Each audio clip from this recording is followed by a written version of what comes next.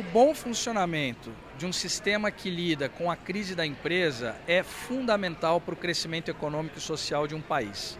E isso virou uma preocupação de Estado, tanto é que nós tivemos uma recente reforma aqui no Brasil da Lei de Recuperação de Empresas de Falências e não só no Brasil. Esse foi um movimento mundial.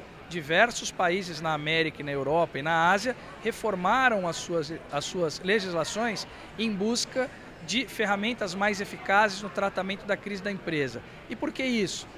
Porque quando nós é, tratamos de maneira adequada da crise da empresa, nós temos melhores condições de preservar os benefícios econômicos e sociais que decorrem da atividade empresarial, que são os empregos, bons produtos, bons serviços, a circulação de riquezas, é, a geração de tributos, e tudo isso é fundamental para que o país prospere e para que a sociedade também é, é, é tenha um bem-estar necessário e é aquilo que todos nós queremos. Então, eu diria que é, nós estamos vivendo um momento muito importante de aplicação de uma lei reformada de recuperação de empresas que vai ser novamente testada com uma nova onda de crise.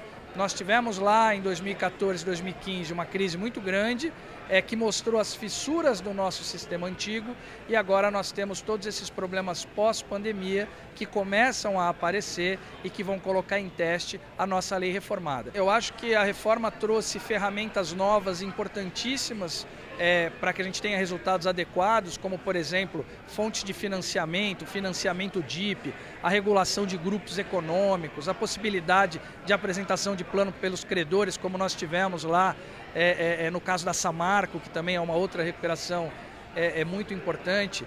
Agora, é claro, é, a, lei, a, lei, não deu conta e nunca dará conta de regular todos os detalhes que a realidade apresentar. E aí é a função do judiciário.